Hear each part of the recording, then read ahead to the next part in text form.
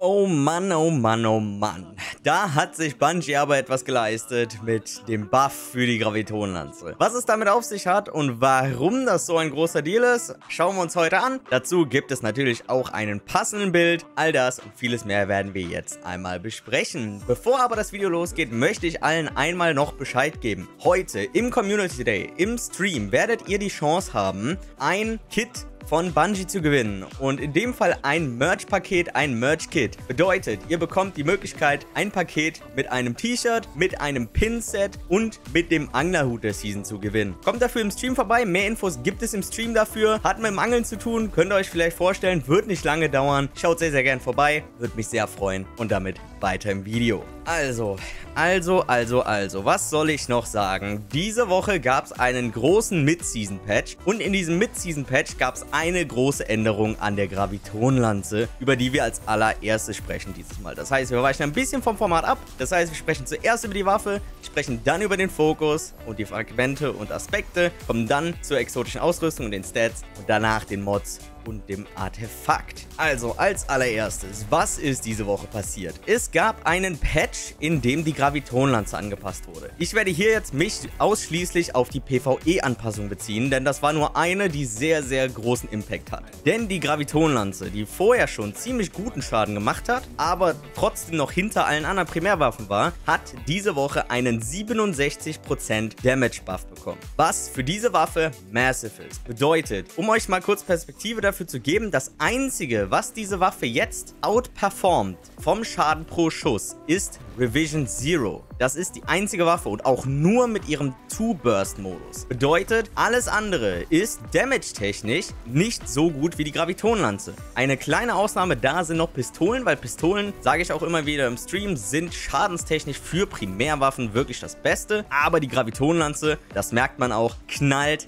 richtig rein. Und diese 67% beziehen sich logischerweise natürlich nicht nur auf die Schüsse der Waffe, sondern auch auf den Kosmologie-Trade. Bedeutet, bedeutet, wenn wir Kills mit der Waffe machen, erzeugen wir kleine leere Projektile-Sucher, sowie die Streugranaten, wo wir auch noch gleich drüber sprechen werden. Bedeutet, in dem Fall ist diese Waffe wirklich doppelt und dreifach gebufft worden und spielt sich wirklich, wirklich gut, wie ihr auch hier im Gameplay sehen werdet. Kommen wir dann an der Stelle einmal zu dem Fokus, denn wir befinden uns auf dem leere Läufer Warlock und haben als aller allererstes die Katastrophen-Nova-Bombe ausgerüstet, da das einfach die Nova-Bombe ist, die mehr Schaden macht. Bezüglich den Fähigkeiten ist es sehr, sehr simpel. Wir haben ein Highlanders Rift dabei und und bei den Granaten schauen wir uns heute mal etwas anderes an. Passend zur Gravitonlanze gibt es einen passend thematischen Bild heute. Nämlich da haben wir die Streugranate dabei. Die Gravitonlanze erzeugt da kleine Streugranatensucher. Die sehen eins zu eins so aus wie die von der Granate. Das heißt, da können wir natürlich noch themenmäßig noch mehr reingehen und dadurch natürlich ein rundes Gesamtpaket erschaffen. Bei den Aspekten ist es ebenfalls sehr einfach. Wir haben als allererstes die leere Füttern dabei, was dafür sorgt, dass wenn wir Fähigkeiten-Kills machen, wir Verschlingen aktivieren, was dafür sorgt, dass wir für jeden Kill Granaten starken Recharge Rate bekommen und unser Leben sich wieder vollständig auffüllt. Und als zweites haben wir noch Kind der alten Götter dabei. Habe ich länger nicht mehr benutzt. Sorgt einfach dafür, dass wenn wir unser Rift benutzen, wir eine kleine leere Seele bekommen, die, wenn wir Gegner anschießen, diese Gegner schwächt und gleichzeitig, je nachdem welches Rift wir dabei haben, uns entweder in Form von einem heilenden Rift, jedes Mal, wenn die Kugel Schaden erzeugt, uns Granaten und Nahkampfenergie wiedergibt. Oder, wenn wir das stärkende Rift drin haben sollen, saugt die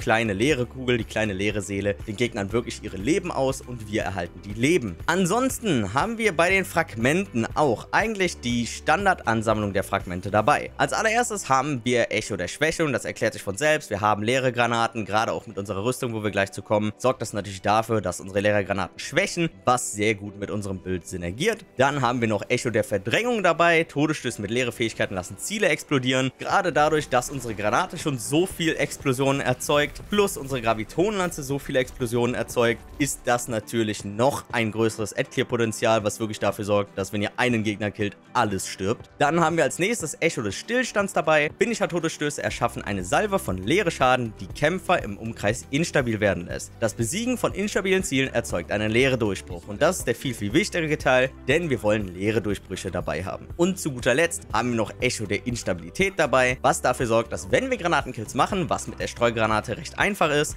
wir den Effekt der flüchtigen Geschosse erhalten, was, wie ihr euch vorstellen könnt, in Kombination mit der Gravitonlanze, die gebufft wurde, dafür sorgt, dass wirklich endgültig, wenn ihr einen Gegner tötet, alles auf einmal stirbt. So viel an der Stelle zu den Aspekten, Fragmenten und Fähigkeiten. Kommen wir einmal zu den Stats. Und das ist sehr, sehr simpel, denn wie immer, sehr klassisch, geht ihr auf Belastbarkeit, dann auf Disziplin und dann auf Erholung. Ist logisch, ich würde es auch so priorisieren an eurer Stelle. Ihr könnt natürlich auch ein bisschen mixen und matchen, falls ihr jetzt nicht die Ultra-Rüstung habt. Andererseits könnt ihr momentan auch beim Sonnenwende-Event natürlich sehr gut Rüstung farmen. Ansonsten kommen wir einmal zum exotischen Ausrüstungsgegenstand. Und das ist einer, über den wir länger nicht mehr gesprochen haben. Und es sind die Handschellen des Nichts. Die haben einen sehr, sehr einfachen Effekt, denn wir kriegen, da wir die Streugranate ausgerüstet haben, eine zweite Aufladung. Und wir ermöglichen es den Streugranaten automatisch ihre Ziele zu verfolgen. Bedeutet, wenn wir die Granate mal nicht ganz genau auf den Gegner schmeißen, treffen wir trotzdem Gegner dadurch noch und kriegen natürlich unseren Ad-Clear hochgedrückt. Sehr, sehr simpel. Wenn ihr euch fragt, woher ihr die Arme bekommt, weil ihr sie noch nicht bekommen habt, denkt dran, das ist ein exotischer Ausrüstungsgegenstand, den ihr aus den täglichen verlorenen Sektoren erhaltet, wenn exotische Arme drin sind. Bedeutet, schaut einfach nach auf eurer Map, auf eurem Tracker, welcher Sektor gerade drin ist, für höhere Schwierigkeit, guckt, ob er Arme hat und dann lauft den ein paar Mal als Warlock und dann solltet ihr recht fix auch diese Arme bekommen. Genug geschnackt von unserem Setup. Bei den Waffen haben wir schon drüber gesprochen. Gravitonlanze ist das, worum sich alles dreht. Dementsprechend sind eure anderen beiden Slots komplett frei. Das heißt, im Kinetic sowie im Heavy Slot könnt ihr euch überlegen, was ihr ausrüsten möchtet, je nachdem, welchen Content ihr spielt. Dann kommen wir an der Stelle einmal zu den Mods. Und das ist sehr, sehr simpel an dieser Stelle. Bedeutet, auf unserem Helm haben wir zweimal Asche zu Angriff dabei, was dafür sorgt, dass was einfach sehr gut mit unserem Bild synergiert, denn wir verursachen einfach sehr viel Granatenschaden und sehr viele Granatenkills, was dafür sorgt, dass wir unsere Super einfach schneller wiederbekommen. Diese beiden Mods könnt ihr alternativ natürlich, wenn ihr einen Raid spielt, gegen mächtige Freunde austauschen oder sogar gegen schwere Munitionsfinder. Außerdem haben wir noch einen leere Seifen dabei, da wir natürlich leere Waffen in unserem Bild in Form von Gravitonlanze und eventuell einer schweren Waffe benutzen, erzeugen wir dadurch natürlich noch Sphären der Macht. Auf unseren Armen, wer hätte es gedacht, haben wir einmal Feuerkraft dabei, dass wenn wir Granatenkills machen, wir eine Sphäre der Macht erzeugen und wir haben zwei Granaten-Kickstarts dabei, um einfach noch mehr unsere Granate spammen zu können, da wir sie automatisch noch schneller zurückbekommen. Wenn ihr hier nicht genug Platz haben solltet von den Punkten her, könnt ihr hier auch ohne Probleme zum Beispiel eine Einschlaginduktion reinpacken oder sogar, falls die Gravitonlanze euch zu langsam nachlädt, einen leeren Nachlader. Das kann auch sehr angenehm sein, habe ich sogar auch zwischendurch beim Testen gemacht.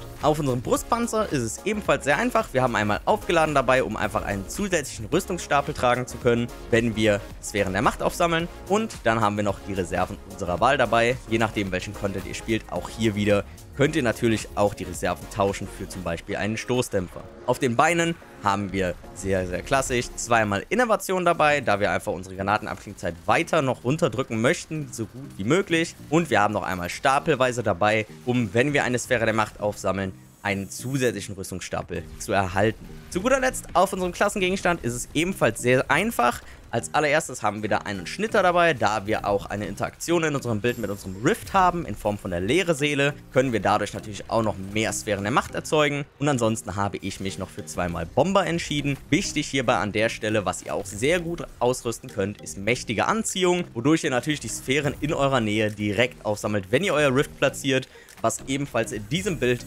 extrem, extrem gut synergiert. Kommen wir an der Stelle dann einmal zu den Artefakt-Mods, denn diese Season haben wir sehr, sehr, sehr, sehr gute leere Artefakt-Mods dabei. Wie immer, erste Spalte, nehmt die Waffen eurer Wahl, die ihr für Champions haben möchtet. Die zweite Spalte würde ich euch immer komplett empfehlen, dann seid ihr sehr flexibel. Und dann ab der dritten Spalte kommt der interessante Kram, denn da haben wir als allererstes auf zum Durchbruch dabei, was dafür sorgt, dass wenn wir ein Ziel besiegen, welches durch einen leere Debuff betroffen ist, wir automatisch einen leere Durchbruch erschaffen, wenn wir einen leere Fokus ausgerüstet haben. Das funktioniert natürlich in unserem Bild sehr, sehr gut und synergiert sehr gut mit allem, was wir in diesem Bild machen. Als nächstes haben wir schützender Durchbruch, was sich ebenfalls noch einmal mit den leere Durchbrüchen befasst, denn jedes Mal, wenn wir einen leere Durchbruch aufsammeln, kriegen wir einen leere Überschild. Denkt dran, dieser Überschild gibt uns 50% Schadensreduktion, was sehr, sehr, sehr, sehr nice ist und ebenfalls sich jedes Mal wieder neu auffüllt, wenn ihr erneut durch einen Durchbruch lauft. Und zu guter Letzt haben wir noch Supernova dabei. Das Aufsammeln von einem leeren Durchbruch sorgt dafür, dass wenn wir noch einmal mit irgendetwas, was leere Schaden macht, Schaden erzeugen, wir einen schwächenden Impuls aussenden, was dafür sorgt, dass wir Gegnern noch mehr Schaden anrichten können. All das funktioniert natürlich sehr gut in unserem Bild, denn wir erzeugen durch unsere Fähigkeiten selber schon leere Durchbrüche und dann kriegen wir natürlich noch mehr Survivability und noch mehr Schaden durch unsere leere Durchbrüche, die wir erzeugen. An der Stelle kommen wir dann auch schon zum Gameplay-Loop und das ist sehr, sehr simpel. Ähm, benutzt eure Gravitonlanze, fangt an, auf alle Gegner drauf zu schießen. Es wird nicht viele Gegner brauchen, um eine gesamte Gegnerwelle zu töten, gerade dadurch, dass die Gravitonlanze durch den Kosmologie-Trade massives Ad-Clear-Potenzial hat, in Kombination mit flüchtiger Fluss, beziehungsweise den flüchtigen Geschossen, um genau zu sein, ist einfach wirklich extrem, extrem stark. Ihr müsst nur dran denken, schmeißt zwischendurch eure Streugranaten auf ein paar Gegner, das wird dann auch schon eine ganze Welle an Gegnern clearen. Dann habt ihr für 10 Sekunden die flüchtigen Geschosse, wodurch ihr natürlich massives Ad-Clear-Potenzial und zusätzlichen Schaden für eventuelle Champions oder andere Gegner habt. Und das wiederholt sich dann. Ihr könnt zwischendurch jederzeit euer Rift benutzen, wodurch ihr noch eine leere Seele erschafft, die euch ebenfalls nochmal Fähigkeiten und Energie zurückgibt. Bedeutet, das ist eigentlich schon ein wirklicher Selbstläufer, dieser Bild. Wenn ihr jetzt nicht, das Einzige, was ihr an dieser Stelle nicht machen solltet, ist, direkt zwei Granaten hintereinander zu schmeißen. Ich weiß, das kann verlockend sein, gerade mit der Streugranate, aber dann wastet ihr sehr viel Fähigkeiten Energie und vor allem wastet ihr sehr viel von eurem flüchtigen Geschosse-Timer. Bedeutet, jedes Mal, wenn ihr einen Granatenkill macht, erhaltet ihr flüchtige Geschosse. Wenn ihr natürlich zwei hintereinander schmeißt, ist das natürlich sehr unpraktisch. Dementsprechend, das ist der Bild. Checkt sehr gerne die Beschreibung ab. Da ist der Link drin. Wenn es auch schon freigegeben ist von Mobalytics, werdet ihr da natürlich auch den Mobalytics-Link finden. Wie immer, natürlich, ich werde da versuchen, mein Bestes, die Builds immer hochzuladen. Allerdings dauert das immer leider ein bisschen, bis sie auch dann freigegeben sind und auf der Seite landen. Aber checkt da sehr gerne zwischendurch mal aus. Da sind schon die ein oder anderen Builds sogar online. Ansonsten ansonsten würde ich sagen, Leute, schaut definitiv im Stream vorbei. Das Angel-Event wird sich lohnen. Glaubt mir, das Merch-Paket ist wirklich nice. Ich wünschte, ich könnte es auch haben. Und ansonsten würde ich sagen, sehen wir uns oder hören wir uns im Stream oder im nächsten Video wieder. Vielen, vielen Dank, dass ihr da wart. Lasst dem Kanal gerne ein Abo da. Lasst gerne eine Bewertung da, wenn es euch gefallen hat. Und vergesst natürlich nicht den Kommentar für den Algorithmus. Und dann bis zum nächsten Mal. Ciao, ciao.